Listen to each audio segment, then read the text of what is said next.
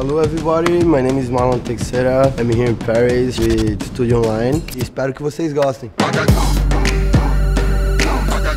It's a pleasure work with Yuan, dancing, jumping, try to do crazy things. Are you worth it? Are you worth it?